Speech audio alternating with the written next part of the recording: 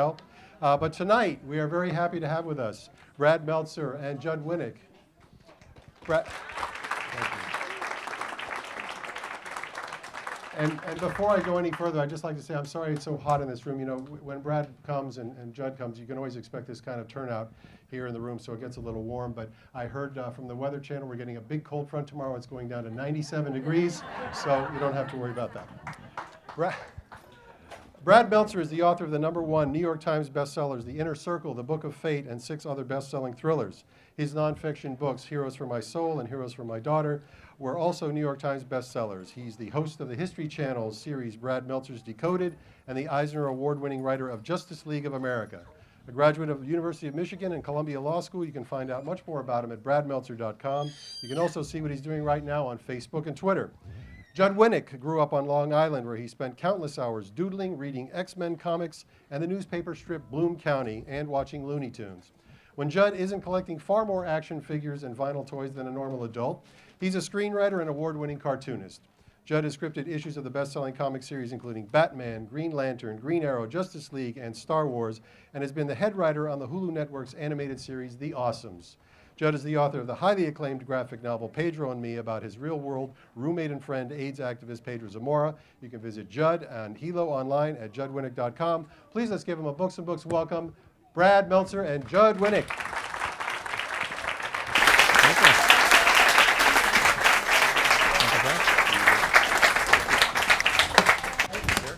We just have one mic between the two. Yeah, of we're gonna do. so, Yeah, you want to start first, and I'll and I'll go do my thing. You Um, want to just say hello? I'm Brad's starting. gonna go first. Get Okay, I'm there. gonna go. Here we go. I'm gonna come over here and watch. Okay, Judd's gonna watch. Here we go. So, couple things. One, there is no way that any place in America has a hotter room than here right now, right? Can we know? Can we have? I mean, first, so um, most important thank you goes to Mitchell Kaplan and everyone at Books and Books. We love this place, right? Let's hear it for Mitch. I will say it once, and it, it bears repeating tonight because um, there's so many people that I know from this area. But when I first started writing, uh, the Barnes and Noble in Aventura, we asked them to do an event, and they said we don't want to host an event for you. And this guy named Mitch Kaplan said, "Well, I would love to host an event for you, for you, Brad, the unknown writer." And we had our first event here, and um, and then of course the Barnes and Noble in Aventura said. Uh, we'd love to host an event for you, and we never went. And now that store is closed, and now here we are tonight. so I, I mean, I love Barnes Noble; they've been great to me. Um, but that one person at the Aventura one was a curse on that Aventura store, and um, I love Mitchell because he took a chance on me at the very first, uh, very first book before chapter one. He was right there. So I love you for it. You know it. And for me, um, I also have to thank there. I never get to do this. I was in Atlanta yesterday and North Carolina two days before, and there were like two Jews there, no minyan. Um, that joke did not work in North Carolina either. I can tell you right now. And you do a minyan joke, right? It would work in North Carolina. Didn't work in Georgia either. Only in Buckhead. And so, right, all the Jews here are like, I know where Buckhead is. I know. We could do the synagogue tour. So I want to thank my family. And my family's here, and Bobby and Dale are here, and Amy and Matt are here, and my sons uh, are here. I never, I always get to thank my sons. I always get to thank my wife. I don't get to thank my niece and my nephews who are also here tonight, and I appreciate them being here. We love you.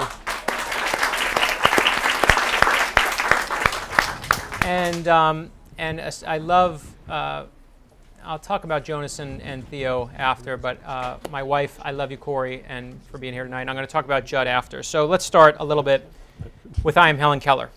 And very quickly, um, when we started this book, it was very important to me that what we wanted were better heroes for our kids. That's where the whole process started. And we started with I am Amelia Earhart, we started with I am Abraham Lincoln, and we've done all these other books since. And the only thing we really need, perfecto, thank you. And the only thing when we started was like, who else are we going to do? And the one person who we knew was always on the list was Helen Keller. But when we started the book, when every book is written, what Chris Eliopoulos does, he's our amazing artist. You can see his work right there.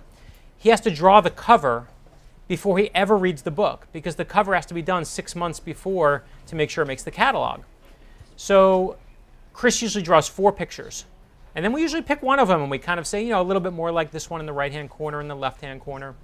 And Chris drew four pictures for this, and we said, no, that's not good. And he drew another four, and now we're driving him crazy. And we said, he said, well, tell me about her. Tell me what the book's about.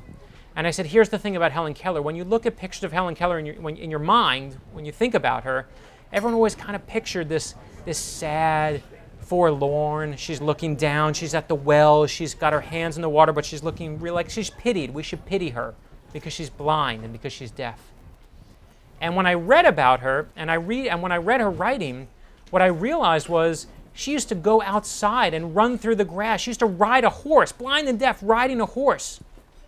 She said she loved being outside because when she was outside, she could feel the sun on her face. She could smell the flowers that she couldn't see. Outside, she was alive. And Chris wrote back one word. He goes, I get it, exuberant. And then he drew this cover, exactly like that. Um, and I will tell you, there is, I can, I've never told anyone, but there is a secret in the grass. If you look in the grass, there's a hidden word in there, and I'll leave it to you to find it. But we, hit a, we even hit a little code in the front cover, which you put there right from the first drawing. Don't look now, you're never going to find it. I promise. I promise. You're never going to need to cover yourself. That's the, how I get you to buy the book and see it up close. So, but when he drew this, this was the redefinition of Helen Keller for us. We're going to show people how amazing she was, how alive she was. And we went to the American Foundation for the Blind, Helen Keller's organization that she founded all those years ago. And I explained to them what we wanted to do. We wanted to redefine Helen Keller for a new generation. And I explained to them what I saw, I explained to them how I perceived her. And it's a terrifying moment because you have no idea how they perceive her. And she, the woman said to me, We love it. That's exactly how we see her. And so I'm going to just walk you very quickly through I am Helen Keller. Um, somehow on here, there should be a. We go on here. we can go forward on one. This one's not working. You'll tell me how to do it. Hold on.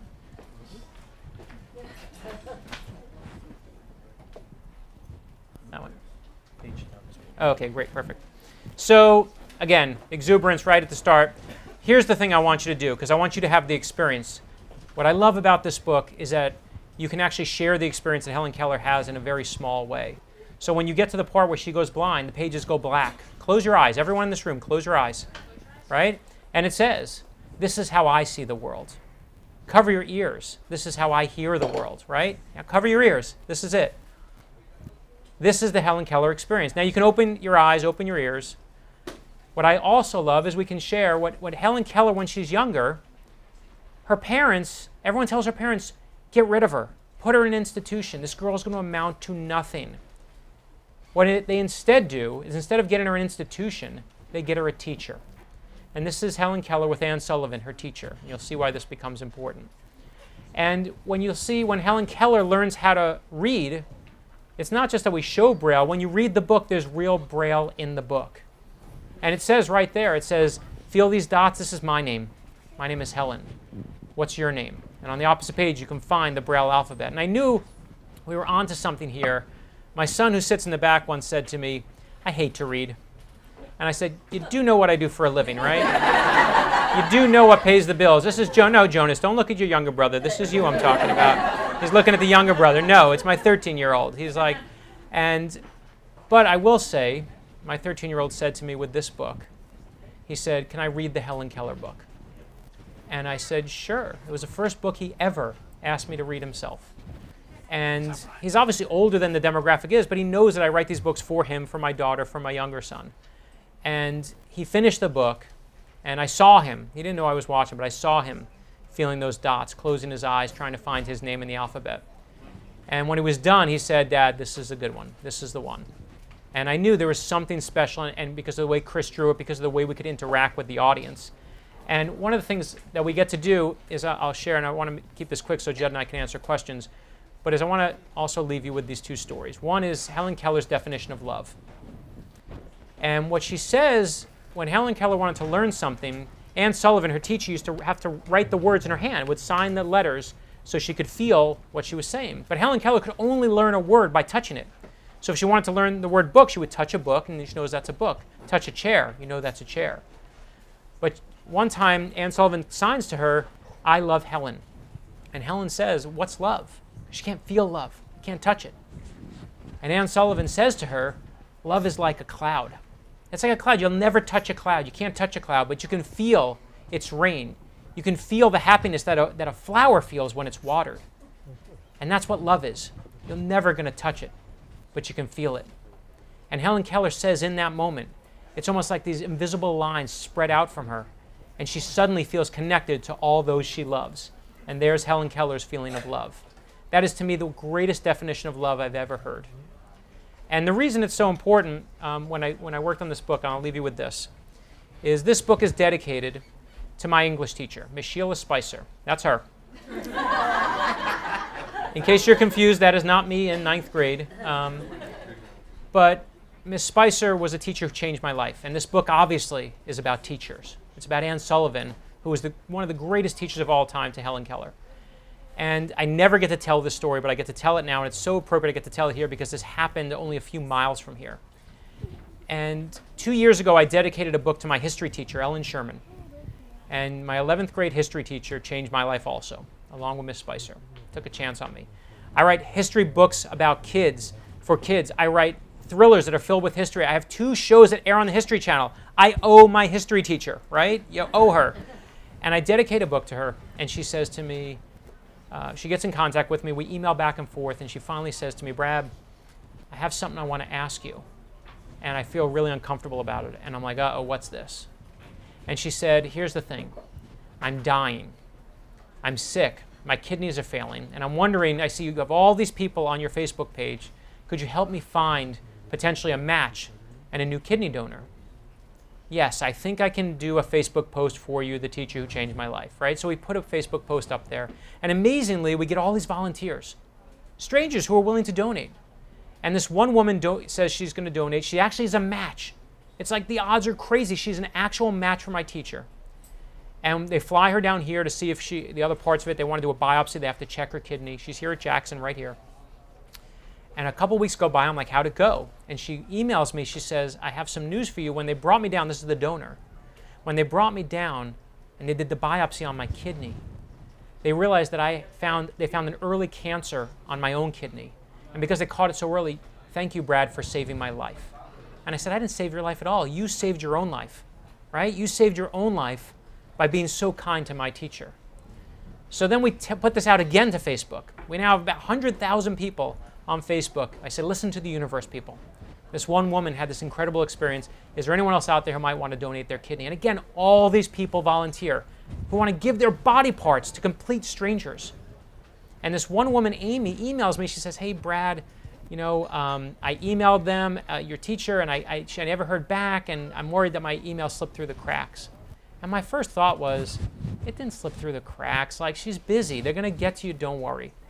But for God knows what reason, I said, you know what? I take her email, I send it to Mrs. Sherman, and I say, listen, there's one person who might have slipped through the cracks. Just take a look at this woman. And a couple weeks later, they email me back and they're like, that woman Amy you sent us? I say, yeah, she's the match. The great part is they checked two weeks ago and her email, they didn't know where it ever went. It went to spam. It would have been lost forever. They actually finally found it. They said it was gone. We don't even know why. And the great part was, and I brought here because I never get to really show it, this happened two weeks ago. This is Mrs. Sherman and Amy. And my favorite, my favorite part of this is that, and, and this is, I mean, it was unbelievable to me. This is two weeks ago. Now, the last page of this book of I Am Helen Keller ends with this one page. It says, Go thank the teacher who changed your life, which is how all of this started. And I realized in that moment, okay, th- this book comes out four days after this surgery. Like, either that is just divine intervention, or I am the greatest marketing expert of all time. and I just want to announce here now I promise for next book we are doing open heart surgery on someone. I don't know who it's going to be, the lucky winner, but we're going to be doing it. Um, and then I'll leave you. We're doing I Am Martin Luther King Jr. in January. And then very few people have seen this. We finally do next year, George Washington. So I want to now do what is far more important than me rambling on. I want to introduce um, I, I have to take a moment here. And I'll tell you this. I was doing the math today. I think it was 23, 24, depending on where you count from, if you count the year where we started. Uh, My freshman year, at the University of Michigan. That's right. I'll never forget it. And I never get to do this. I never get to do this. So I'm taking time. Wow. Uh, I remember this kid walks in to my room, and he's wearing. I remember what he was wearing. He's wearing the jean jacket because it's the 80s and 90s, and he's painted on the back of the jean jacket. I've never seen anything like it before, but he has all these cartoon pictures on it, and I'm like, and we, and he notices on my wall that there are posters of Batman and Green Arrow and She-Hulk on my wall. I was a freshman and I thought that was going to get me girls. Okay? like everyone else had beer posters with women with their boobs hanging out, like I had superheroes. Not exactly the magnet you hope it's going to be, but what it brings me is my friend Judd Winick. And we quickly connect and very quickly find we both love comics. Now here's the part I've told that part of the story before, but here's the part I never get to tell ever. And that is I remember right there that day. I remember it. I remember him saying the words. I don't even think he knows it. But you have that when you meet someone, you say, Oh, what are you studying? What do you want to do? And I remember, I don't know if I said, What do you want to be or what are you studying? But he said, When I grow up, I want to be a cartoonist. And I remember thinking, This kid's crazy. Like, that's not a job, right? Because writing's not a job. And it was the first time in my entire life I had Miss Spicer to thank. I had Miss Sherman to give me a love of history. So my English teacher's great. But I never, ever once considered writing as a job until I met Judd. Because he came fully formed to college and knew what he wanted to be when he grew up. And I was like, oh my gosh, you could be that? Someone will pay you to do that? It was the first time I realized that all those cartoons you see, those comic strips you see, Garfield, Family Circus, you know, Calvin Hobbes, Bloom County, those great ones we loved, that someone was paying someone to do that. And that was a light bulb for me, right? There it was. Suddenly you can be an artist. Holy cow, that's a job I never thought of. So Judd is my best friend from college. In fact, my first published work ever is this book. It is Judd's book. He was the official cartoonist for the University of Michigan. And at the end, we were like, you know what? You got to have a book. And you got to have your comic strips put together. Now, back then, you know, now you can make a, your book all you want. This was, you know, Nuts and Bolts was the name of his strip. And I dug it out. And what I love about it is, like, and I remember when we made this, it's, it's watching the spin cycle, and it says with an introduction by Brad Meltzer. And I wrote the intro. Why? Because I was the publisher, right? And we sold this book to the independent bookstore that was on State Street at the University of Michigan. It was a little store called Borders. They had one of them. Okay, that dates us, right?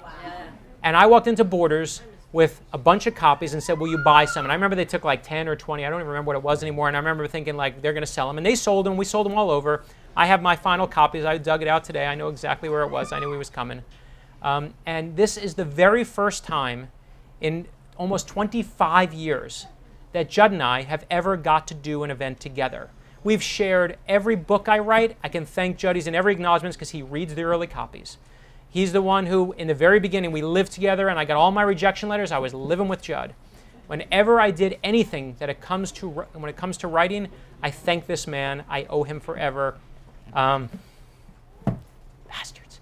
Um, and uh, he changed my life. And I get to finally, finally, 20 something years later, you know I love history. I finally get to say thank you publicly. I love you. Um, ladies and gentlemen, meet Judd Winick.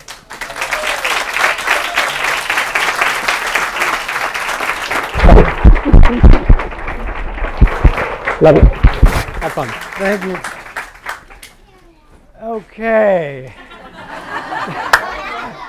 uh, I should just walk off now. Um, thank you, Bradley. Um, I can start saying a few things, Brad, but I don't think I'll, I'll get through the talk. Um, all right. So there will be no discussion of giving people kidneys. and um, if I start talking about Brad directly, I don't think I'll, I'll make it through. So uh, thank you all. I will say this that um, none of my actual family, that one refers to as family, is uh, here tonight. But uh, um, I've got Joyce Elias right here, who's a member of my family. I've got the Meltzers and the Flams, and I have the Zamoras. So when I come to Florida, like every good Jew, you've got people. um, so I'm just going to dive into this. Uh, hopefully this this works. So I'm just gonna I'm gonna dive into it. I'm gonna talk about um, just kind of the story of how I came up with my book Hilo and stuff. So it's the story about how I came up with you know my book Hilo and stuff. Um, so we gotta go way back when I was a kid, long ago, when you know dinosaurs roamed the earth, and I was a geeky kid. I was a kid who, hey, if the little ones can't see, I'll count to ten. You guys can come. Every little guy who can't see, you want to come up in front? Come on, let's go. Let's do it. Let's do it.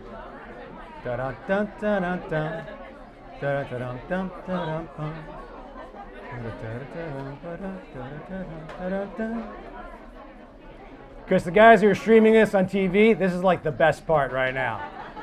There's the guy standing here with the sound of children, like. Okay, so this is the best in the whole world right here. All right. Papa squat. Let's go, let's go, let's go. All right. So. So when I was a kid, I was a geeky kid. I like geeky things. I like Star Wars. I like Looney Tunes cartoons. I like monster movies. Monster movies, not horror movies, not the scary kind. Just, just guys in big, stupid rubber suits like Godzilla and Gamera, and especially King Kong. I loved King Kong. I loved King Kong in kind of an unnatural way. Um, I also like to draw. Used to draw all the time, and I was lucky enough that my mom and dad always supported just that. They would let me draw as much as I want. So I spent most of my childhood sitting in front of the TV, watching Looney Tunes, Star Wars, and monster movies, and drawing. That was pretty much my gig. I love drawing King Kong, and I would draw him over and over again. Um, do you guys know the story of King Kong? I'm talking to the guys here. They don't. Okay, so King Kong, but kids in the back know. King Kong is like, he's about a 75 foot giant gorilla. He lives on a prehistoric island called Skull Island. And then this expedition, they come to the island, they capture him, they bring him back to New York City, and they're going to put on a big show. He escapes, he runs amok, because only King Kong runs amok. Does anything else run amok? So King Kong runs amok and he climbs the Empire State Building. This is important. So as a kid, I used to like to draw King Kong a lot. I would draw the same drawing though.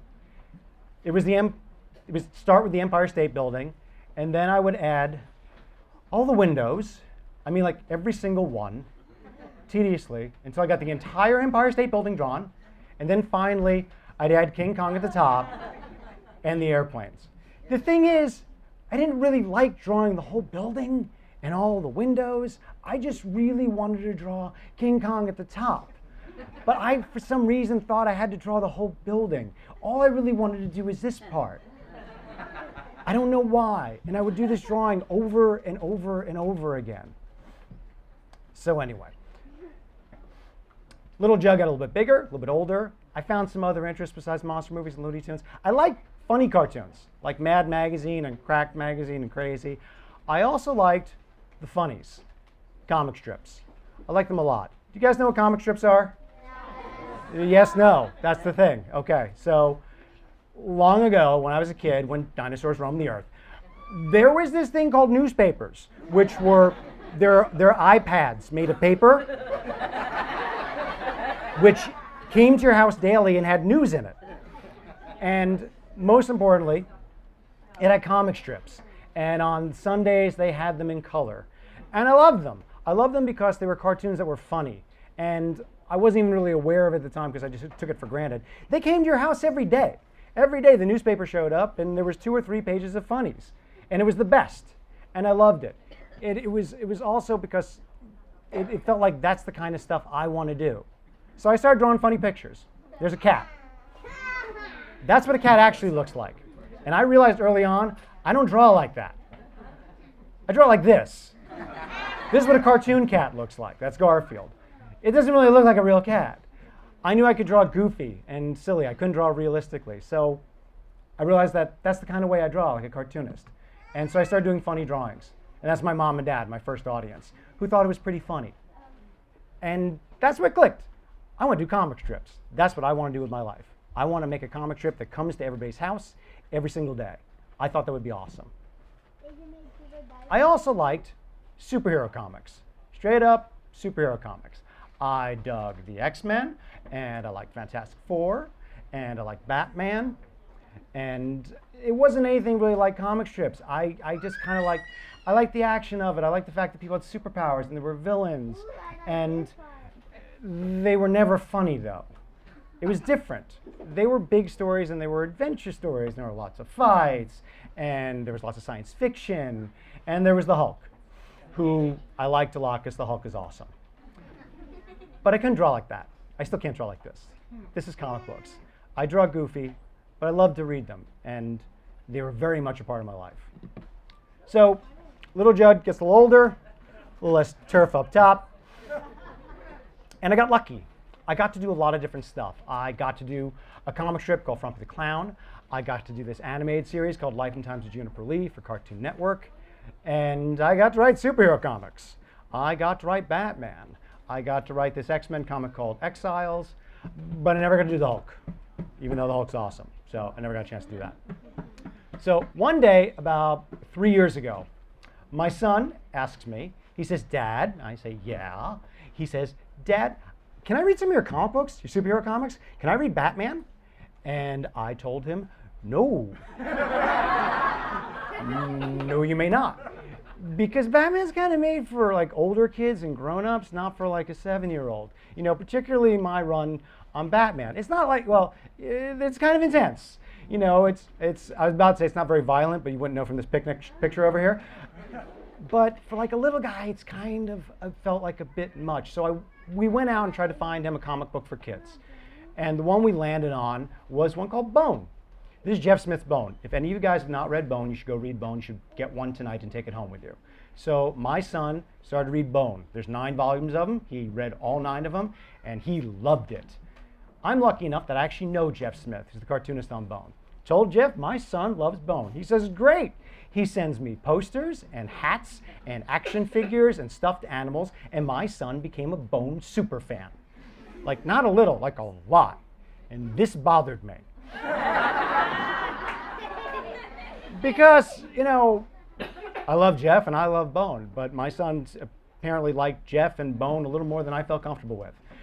And I'm a cartoonist. I should be able to tell a story like this. I really felt I should be able to kind of elicit this reaction out of my son.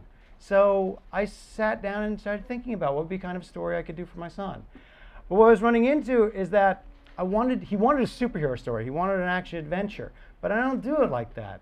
You know, I started thinking about like, I draw goofy pictures and I like to make jokes, but I also can tell these adventure stories. So what can I do? So I put both those ideas in a blender and out came Hilo.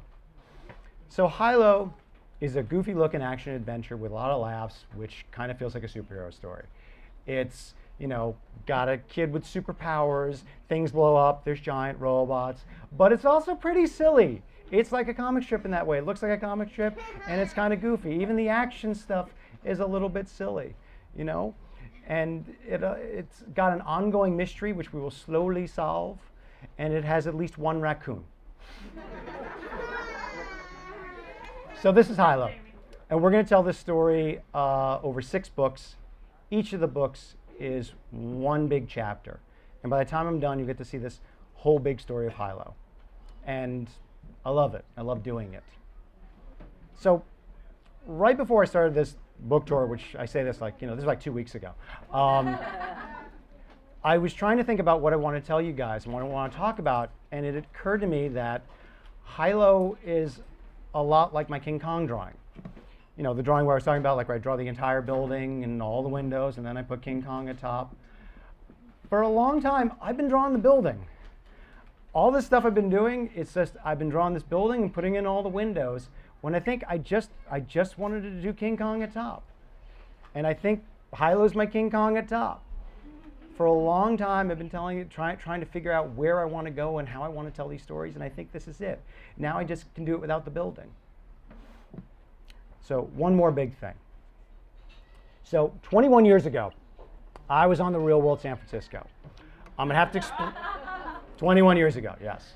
Some of the grown-ups gasp and say like, I remember watching that. That was not 21 years ago. For you guys, okay, the kids are confused. I gotta explain real quick. So, do you know what reality TV is? It's the one where they don't, like, there's not actors, they just film people being people. Okay, so 21 years ago, I was on a show called The Real World, where you take seven people from around the country, put them up in a house for six months, and film them all the time, and then make a TV show. So, one of my housemates was a young man named Pedro Zamora. And in this picture, there's that beautiful woman on one side, that's me behind her, and that's Pedro. The beautiful woman, her name is Pam. She would become my girlfriend, then my fiance, then my wife, and now the mother of our two children. That's, well, thank you. That's a whole other story. Um, Pedro, uh, Pedro Zamora was an AIDS educator and activist, and he was also living with AIDS. And not long after we finished filming the show, Pedro passed away. And after he died, we, my, my wife Pam and I, we went around the country, started talking to people about Pedro, particularly kids. We would go to middle schools and high schools and colleges, and we talked about Pedro. And then after about a year, it kind of became too hard to do that. But years later, I was still stuck with the idea that I really wanted people to know about Pedro. I just didn't know how to do that. And that's when I thought of I should probably try to tell a story the only way I know how. So I did a book about him called Pedro and Me. And it was simply that. It was the story of who Pedro was before the show, what it was like for him to do the show, what my life was before we, we did the show, and what was it like for us to be friends, and what it was like to lose him.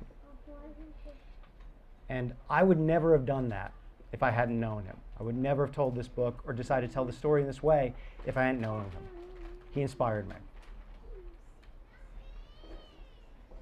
Thank you, Judge.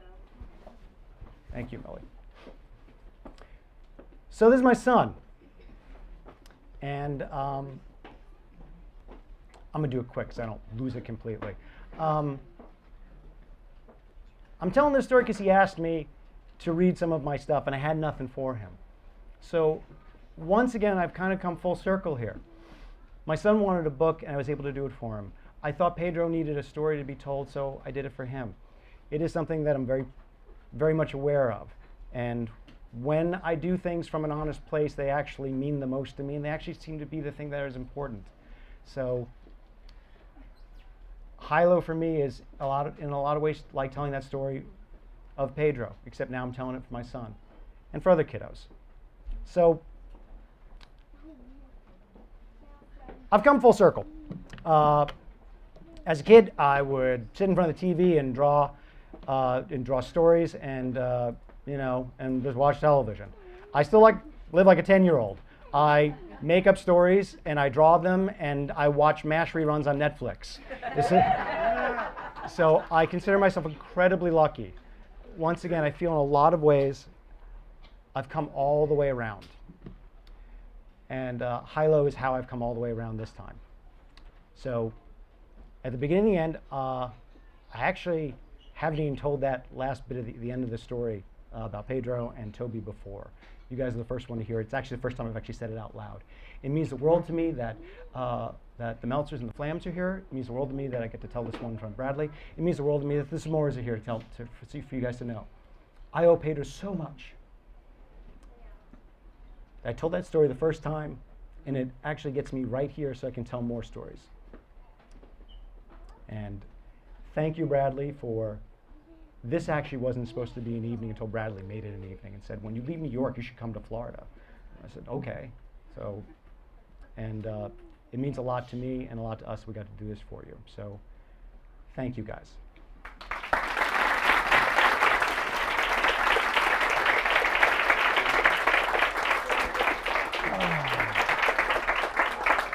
Okay.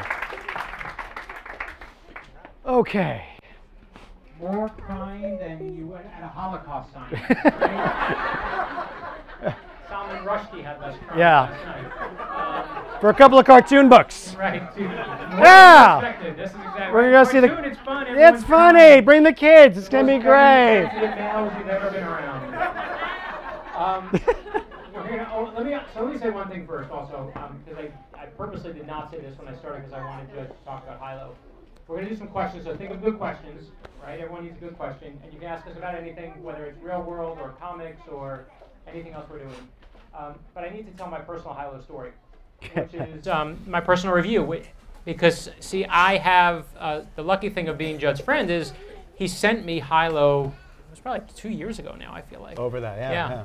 And I gave it to my son, who famously I hate to read, and he read it in one sitting. And I gave it to my daughter, and she read it in one sitting.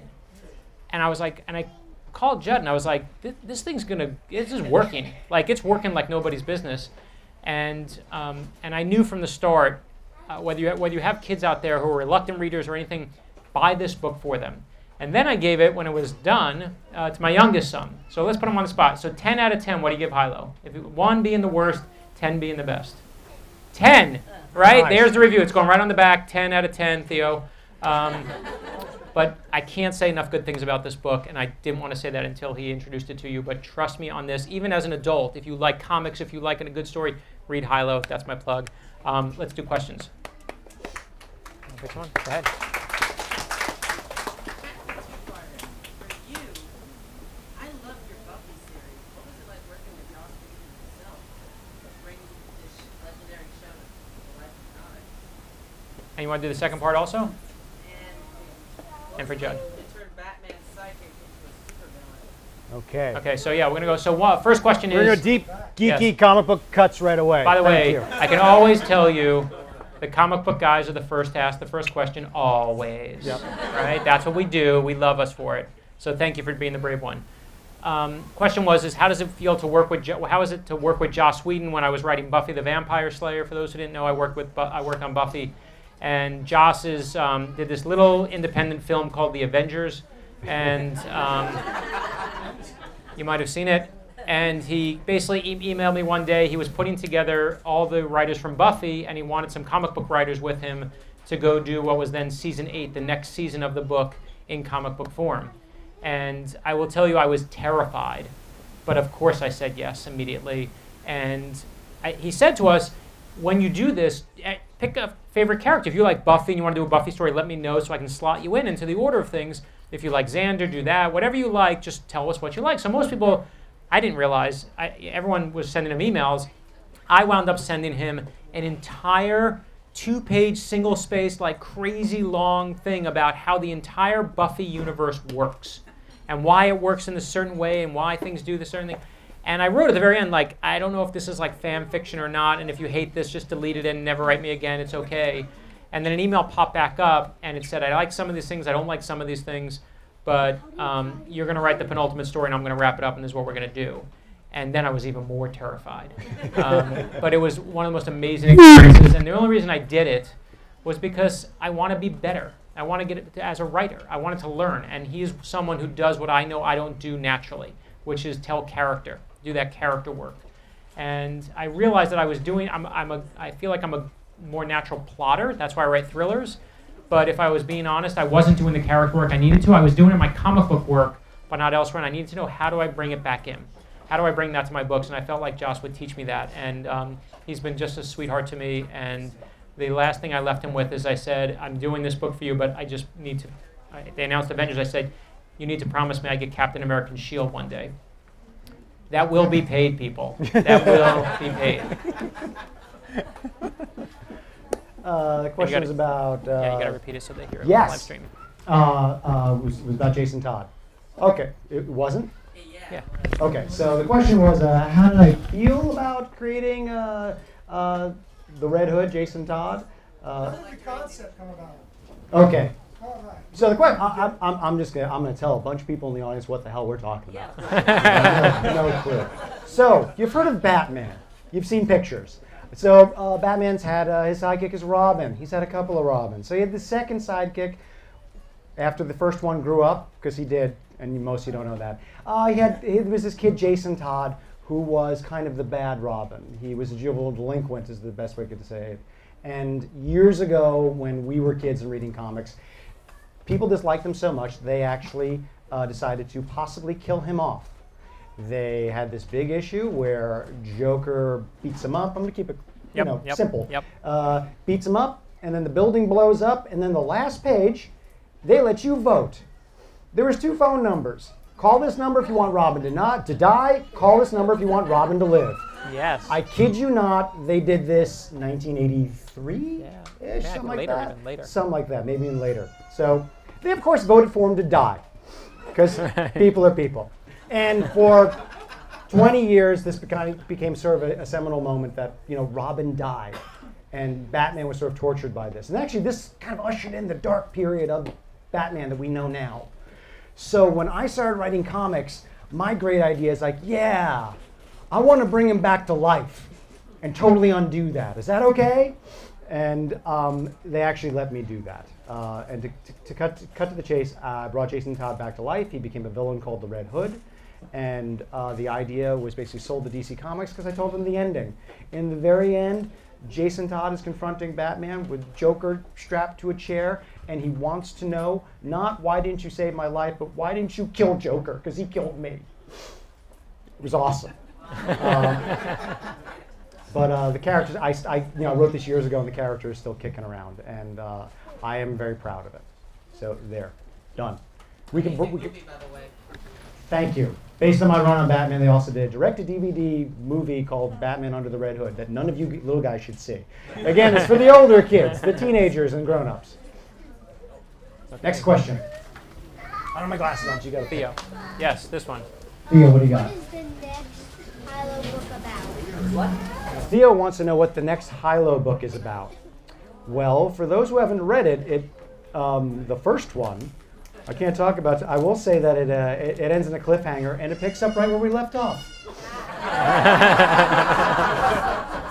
and it comes out May 2016. Actually, every book's going to come out every nine months. Actually, I'm I'm drawing book three right now, and I had to have a discussion with my children about what spoilers are. It's like friends at school are going to read this and you can't tell them. Like, okay, what can't we tell them? Anything. Can I tell them about book two? No, that's the point. You can't. Okay, hit with the next question. Okay, I'm You- gonna, you you can't these. see? Okay, yes, yes.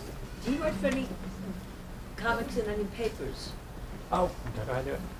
Uh, the question was, do I do I do any comic strips? I do not. Uh, I did a comic strip called Frumpy the Clown for about three years. Available nowhere except my house. This was Nuts and Bolts. It was my comic strip I did every day uh, in the Michigan Daily, uh, which seems like a lifetime ago. Which then led to Frumpy the Clown, which I did as a syndicated comic strip for about three years. It was around that time when I was doing it. Uh, it was after the Real World that um, I was also lecturing around the country about Pedro, and it was there that I, doing a comic strip didn't feel like it was enough. It actually felt like I, I wanted to tell a bigger story. Okay, I'm gonna, find him. Yes.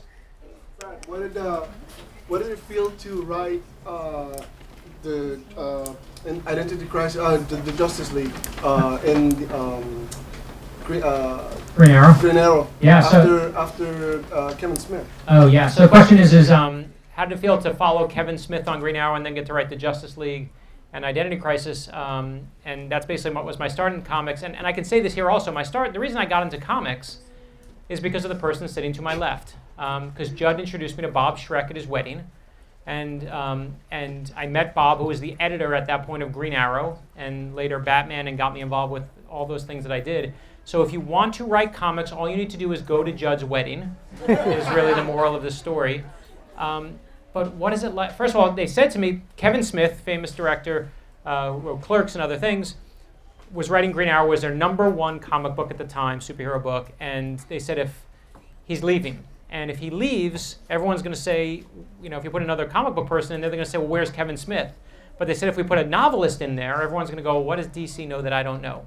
And the comic readers don't know you. So if we take our best book and we give it to you, people may stick around. It was a stunt. And they said you'll either, it's, a, it's our number one book, so you'll either fail on a huge stage or you're going to succeed on a huge stage. And I was like, I, I like those odds. I'll take those odds. To me, you know, someone said to me, I got to recently throw out the first pitch at the Marlin game, and my friend immediately wrote to me, he said, Why are you going to do that? They said, If it goes great, no one cares. If it goes bad, everyone says you're awful. You can't win. Why would you do that? And I was like, Why would you not take a chance on yourself? Right? If, we, if you learn one thing here today, bet on yourself right? Judd's thing, the thing I love most about Hilo is he could still be writing comic books for DC Comics. Instead, he was like, no, I quit. I was, he was working on a Batman book and said, I'm going to bet on myself, and that's why we sit here. And to me, I was like, I'll take that chance. But what, how does it feel to write the Justice League? When I get to write B A T M A N and put words in Batman's mouth, I am wearing my underwear on the outside of my pants that day. right? I am not joking, not even a bit. Like, it is awesome. I love it. I love writing Helen Keller. I love writing my thrillers, but there's nothing like knitting a little corner of that quilt that is the, the kind of amazing world of Superman, Batman, and superheroes. I, I grew up, my first book I ever can really relate to was the Justice League. So I waited my entire life to write that book. How proud you, you both feel knowing how you were in college and that you both got to write for Batman and such quintessential stories of the character. How does that make you feel just thinking back to where you guys were when you first met that first day? Two stories. One, I'm gonna do this first. So um, let's talk just real quick about publishing, and we put that in quotes, this book. So of my clearest memories of this was um, we had to photocopy every comic strip I did, which went to Kinko's. I didn't pay for a lot of them. Um, you could get away with it. And the other thing was to do the book. Uh, Brad had to cut out the, the, the comics, uh, the, the individual photocopies of the cartoon, and then paste them onto boards with a glue stick. And he did this while he had like his little. I'm, I'm still drawing the strip actively at my drafting table. Toby, Toby, uh, Brad set up a little. Uh, uh, That was awesome. that was he set up a little workstation on my bed, which was high, so I could put all my crap under it. And he was gluing and putting it on like high tech stuff. Seriously, that's how the book got published. Um, and I bring that up to bring this up. I remember some Saturday night, we talk about this one quite often. Uh, I'm drawing my comic strip uh, because I'm that cool. Saturday night at college, like, you know, sophomore year, I'm in my room drawing my comic strip. And uh, Brad comes in with a piece of paper in, and actually comes in with a pad. and Said, "Okay." I said, "What are you doing?" It's like, "I'm hanging out with you, and we're gonna figure out if the Justice League and the Avengers had a fight, who would win." That's my Saturday night. Yeah. Yes, that's my night of cool. Like my son's like, I know who would win. Who would win? Well, Well, who would win? Watch this. Who would win, Batman versus Captain America? Batman. That's right. The answer is right. It's Batman. That is how you teach your child, people. Okay? Yes. And Have you already got an answer? And I know who that Batman versus I'm I mean that Justice League versus Avengers is. You know, right? Because I, because I still basically live that life. Um, and this was our life in college. And, and I think to me, the reason I was so excited to do this here tonight is because, you know what we did in college? Exactly this. It was really no different. Mike Lamont was in that room. Matt Cutler was in that room. Like the people that are kind of here are still here. You know, George is still, you know, reads the same, watches the same MASH reruns Judd does, same things. Nothing's changed. We've evolved nothing in 25 years. We've learned nothing, people. Right? We've learned nothing. If you love, so the only thing we are proof of here is if you love something, keep doing it and just find someone to pay you to do it. Um, I married the same person I was dating then. Again, I've learned nothing, nothing at all. Um, and it worked out okay, so keep going, keep doing it. But um, to me, that was the best. I love that we got to do that then. We still do it now. We still argue over whether the Hulk is stronger. He says yes, I say no. And that's our bias because he showed more Marvel pictures in this thing. Don't think I wasn't counting. and I would have shown more Justice League ones. And that's where our friendship and that's what this whole night is about. Is we have these views that um, you know, and I think Judd's presentation did it so perfectly. Is you know who you are when you're younger is of course so much of who we all are today, and that's what these my kids books are. Right? Is I show Helen Keller or I show Amelia Earhart when she's a little kid, and I show I don't show you when she's famous. I, I save that's fine. I care when she's seven years old and builds a homemade roller coaster in her backyard. Why? Because she's still the same. Who you are when you're little is exactly who you are later. These aren't the stories of famous people, especially us. It's a story of what we're all capable of in our very best days. And I saw my wife's hand go up in the back, so now I got to ask the question, or she's going to be mad. I just thought there was one piece of the story about your class together in Michigan. Oh yeah, we do have to tell that. Oh. So the question was, is um, talk about our class at Michigan, the one class we took. That's actually. Oh. This is when you have this. I, I didn't. even- I should have even. That was good. Thank you. Thank you. Good job. Stay married. One more day. Here we go. Um, and so Judd and I the way this real, I mean, you were you were way ahead of me on this. There was a class at Michigan called Writing Children's Books. How did we not think to talk about this? I don't know. Because we don't prepare. No, we don't. We did not prepare. We just assume. We just assume we'll talk, which we are. Um, and then my wife's like, "Tell this." I mean, is that by by the way also the most Jewish? Like, tell the story about the thing in the college. we took this class called Writing Children's Books. And we don't take classes together. I'm in the art school. Right, Judd's in the I'm- art school. I'm, I'm, I'm- with a with a I'm, I'm an art major with a focus on drawing and painting. I'm a a I- history I want to be broke. Right, right. He's, he's studying art, I'm studying history. There are no two things that will make you less money in the world than studying those two things. And so we're friends. And the class is called Writing Children's Books. And Carolyn Balducci was a professor. And she used to, you, you'd write a children's book, and then sh- you'd take it for the semester, and then she would kind of grade it, and that was the class. And Judd and I, when the class was over, you took it a different semester than I did. I don't forget who, whose idea it was, but we went to back to her and said, "Can we take the class again?" We liked it so much, and then we said, "Can we take it again?" And what she let us do is she let it. She changed it. It was just the two of us in her class, and I'm not joking. This is our this. My parents paid like hundred thousand dollars in Michigan to make this happen. Right? God bless them. Um, and I would write a story, and then Judd would draw it. And then we said, "Can we take the class again?" And I would write a story, and Judd would draw it. Can we take the class again? I have more credits for that. I don't even know. I mean, I don't even know how I was a history major really, because that was all I took. Um, but I will say, and I told Judd this two days ago. I was like, you know, I sent when the first children's book came out. I sent it to Carolyn Balducci, that teacher who took that shot on us and let us do that same thing we loved over and over. I mean, how crazy that I have to say it, like that we're sitting here right now. We should have invited her and flown her in. Then we would have made everyone cry. Yeah. Screw that open heart surgery. We're fighting her next time. So um, she basically changed our lives and let us do what we dreamed and loved to do. And um, we owe her forever. And I can tell you that I, you know, these books have been reviewed. We get reviews, blah, blah, blah. I was never more terrified than when Carolyn Balducci wrote me back to tell me what she thought of these books. And until she said, you did a good job, I was, I mean, it was terror because, right, it's your teacher. Um, so, yeah. Well, because she's, the thing is, you know, she's not really a sweetheart. as, as much as this might seem, we're talking about this like wonderful woman who uh, she gave us the, she's actually tough as nails. She was tough. And like uh, opening day of class, people are talking about their favorite books, and someone says one of my favorite children's books is The Giving Tree. And Carolyn says, "Yeah, that's a horrible, horrible book." And this young woman's like, um, like, no, it's a horrible book, which is just about an abusive relationship. and then she just spent 10 minutes just eviscerating the book, and in a way, eviscerating this, you know, this 19-year-old who was almost on the verge of tears because like she was just kind of ripping apart her childhood. So this is the woman who decided that like it was not so much out of the goodness of her heart that I swear to you she probably saw something in these nice Jewish boys who, you know, were slightly we're, we're creative but slightly aimless that they just need some help. They just really they need some help and some direction. So Should we do one more her name is question? Carolyn Balducci and we owe her everything. Okay, two. Do one more? Yeah. Oh, we do, wait, time? Good. Okay. These yeah. two. Mitch Right down Stone here. like yeah, children. Yes. You there. Okay. Um, what is it about your job that you like the most? The question was, what is it about our jobs that we like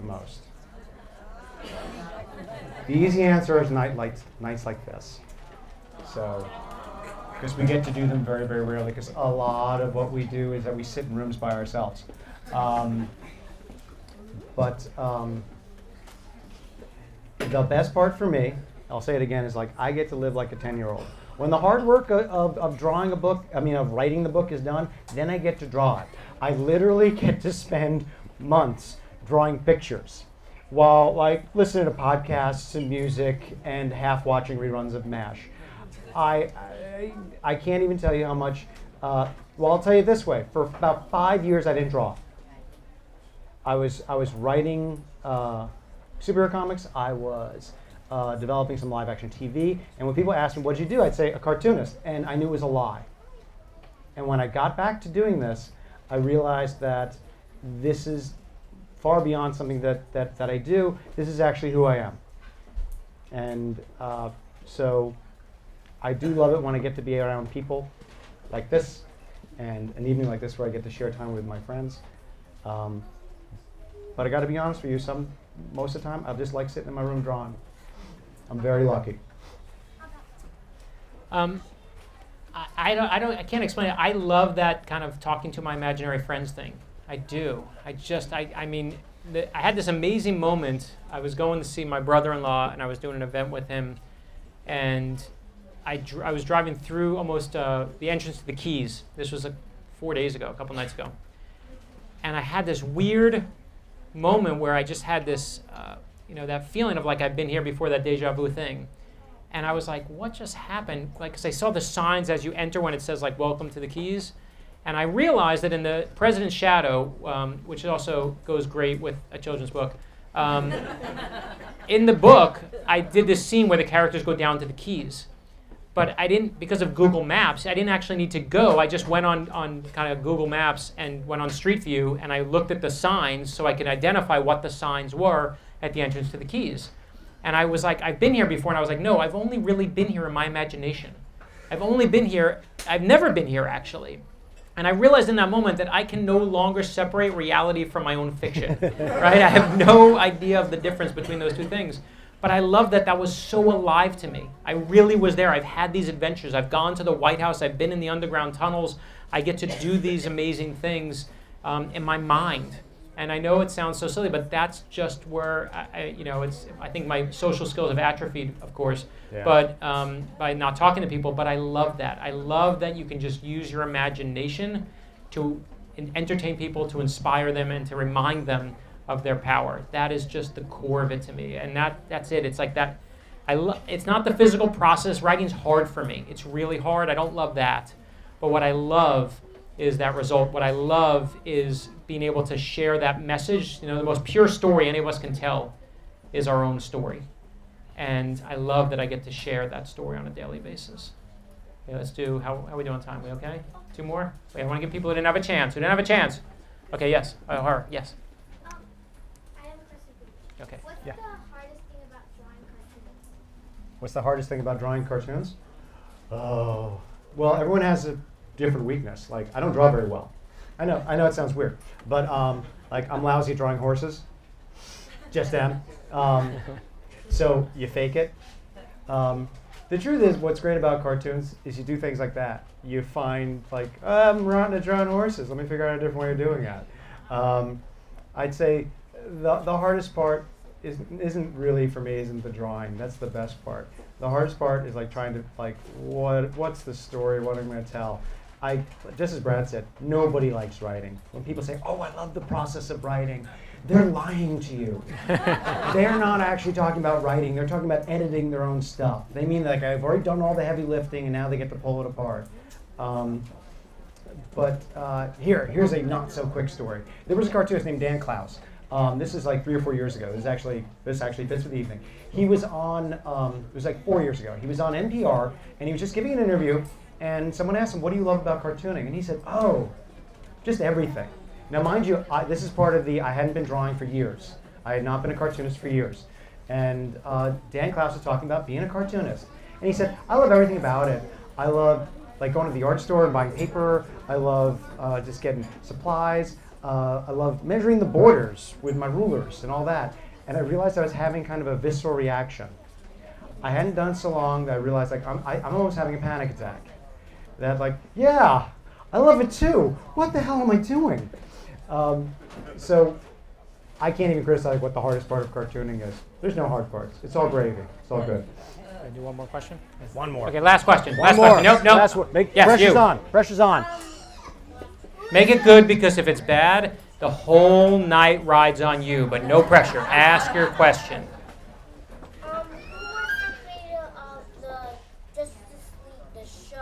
Who was the creator of the Justice League, the show? Who was the creator of the Justice League, the show? It depends which one you mean. Bruce Timm. Yeah, I mean, I, yeah, I would give Bruce Timm the full credit, but the Justice League is back to Gardner Fox in old days. So if you really want to nerd out, just come right up after. We're going to do that. Um, one more. We'll do one super quick question. Yes, in the back there. How do you work? How do you work with your parents to be able to publish your first book or get some published? Yeah, good. Okay, want to do it? You heard? Oh, uh, yeah. The question was, how, how do you get the uh, the courage to actually I'll say just put your stories out there. Um, in my case, my mom and dad never ever gave me the idea that I couldn't do it. They never said like that's crazy. My dad said, "Well, if this cartooning thing doesn't work out, you could always be an actor." Like that's his fallback. my mother and father always felt that this is exactly what I was always going to do, and they always told me that I could always do it, and that's that's where it started and ended. From the, I mean, honestly, when I was a little kid drawing all the time, they were the ones that said just keep right on doing that. So that's where my courage comes from. Um, and for me, I just was too stubborn to know. I got, I I really, I got 24 rejection letters on my first book. There were only 20 publishers. I got 24 rejection letters. And I just said, if they don't like that, I'm going to write another. And if they don't like that, I'm going to write another. Because all those years ago, um, this, you know, 18-year-old kid walked into my dorm room and said, I'm going to be a cartoonist. And I was like, well, then, you know, me too. I'll check it out. Um, so the moral of the story is, uh, again, don't learn anything. Um, go to Judd's wedding um, and see him in your dorm room. And the real moral of the story is thank you, thank you, thank you. That is why we sit here tonight.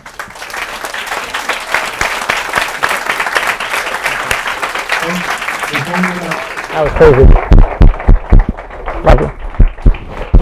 Give us a moment or two so uh, Brad and Judd can get over to the other side where the signing is going to be. The books are for sale behind both counters. If you're watching online, give us a call. We'll get a book signed. Let's get another round of applause for these two guys, huh? Thank you all so much for coming.